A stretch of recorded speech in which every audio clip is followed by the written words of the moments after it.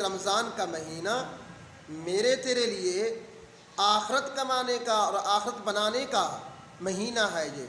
इसलिए इस रमज़ान से पहले हम अपनी रोज़े रखने की रमज़ान की तैयारी कर लें। जितना हो सके, जितना हो सके इस महीने के अंदर गुनाहों से अपने आप को बचाएँ। खूब कोशिश करें गुनाहों से बचाने की। आँख, कान, नाक, दिल, ज़ुबान हाथ पैरों को गुनाहों से बचाएँ। खूब कोशिश करें हम इस बात की, कि हमारे किसी आज़ा से गुनाह सरजद ना हो जाए। गाना ना सुने, टीवी ना देखें। अगर औरत है तो औरत पर्दे का लिहाज रखे, पर्दे का अहतमाम करे। गीबत, झूठ, चुगली, गाली गलूच लड़ाई, झगड़ा, फितना, फसाद से बचें।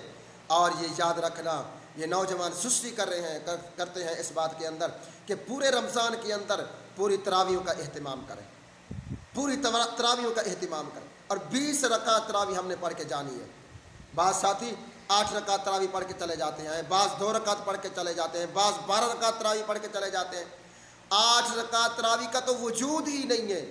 ये तो हमने बस मसला एक घर लिया है आसानी के लिए, वरना नबी पाक के ज़माने और हज़रत उमर फ़रूक रज़ी अल्लाह ताला उन्होंने अपने ज़माने के अंदर बीस रकात तरावी का अहतमाम फरमाया था। बीस रकात तरावी है, तीन का तो वजूद ही नहीं है कहीं पे। तो इसलिए तरावी का अहतमाम करें।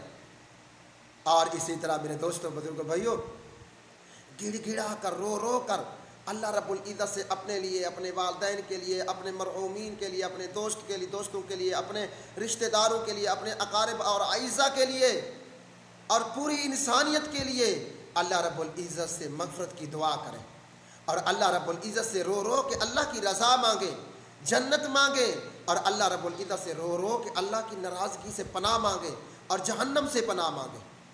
हम वो मांगे जो आ, आका ने हमें सिखाया था उन चीज़ों को ना मांगे जिससे आका ने हमें रोका था। इसलिए अल्लाह रब्बुल इज़्ज़त से रो रो के दुआ मांगे।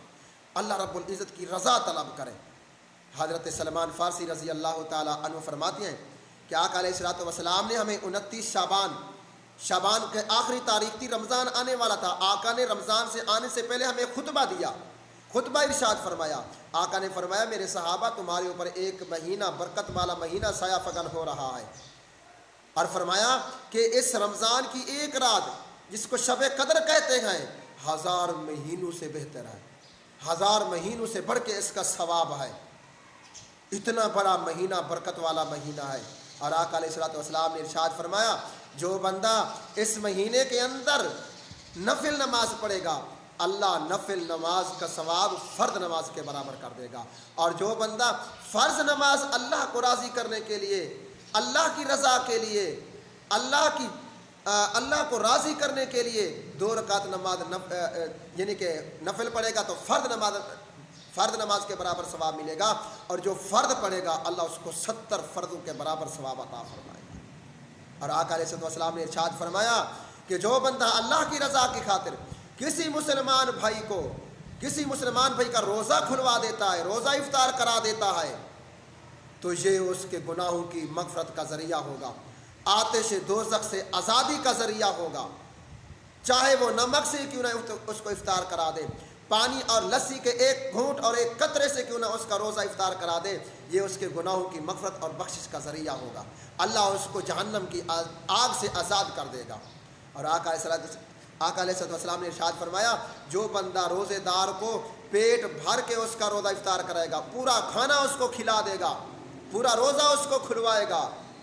आका सलाम ने इर्शाद फरमाया, कल क़यामत के दिन अल्लाह रब्बुल इज़्ज़त उस रोज़ा खुलवाने वाले को मेरे हौज कौसर से ऐसा शराब फरमाएगा कि फिर कभी उसको प्यास नहीं लगेगी। कभी उसको प्यास नहीं लगेगी। इसलिए हम तो रमज़ान के महीने के अंदर मेहमानों से छुपते फिरते हैं, कहीं मेहमान ना आ जाए। तो जिस बंदे ने किसी रोज़ादार बंदे को खाना दे के रोज़ा खुलवा दिया, कल क़यामत के दिन अल्लाह नबी पा के हौद कौसर से पानी पिला दे तो इससे बड़ी सादत क्या हो सकती है? इससे बड़ी सियादत सादत क्या हो सकती है? तो इसलिए मेरे दोस्तों, बुज़ुर्ग, भाइयों, रमज़ान का महीना है हम इसका अदब करें, एहतराम करें। जिस तरह हम एक ख़ास मेहमान का एहतराम करते हैं, इसी तरह हम रमज़ान के महीने का भी अदब भी करें, एहतराम भी करें।